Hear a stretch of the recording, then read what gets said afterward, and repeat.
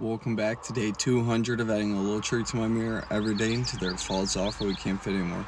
Today we're gonna get a gold little tree. Let's get some good luck from Luigi, Gerald, and Peppa today. As you can see, we added Peppa the pig to our collection of good luck givers. Figure with that big long snout of her, she'd be able to give some good luck, so. It's not a red shell, so that's a good sign.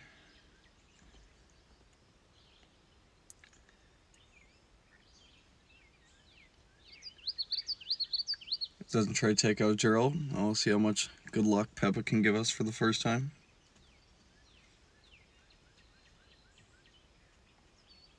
She's using that big long snout on her. And doesn't try to take her out either, so on all a good day. Let's see if she fits.